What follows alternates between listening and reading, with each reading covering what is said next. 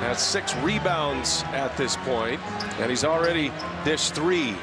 Here's Turner just back in, gets his own board, going strong.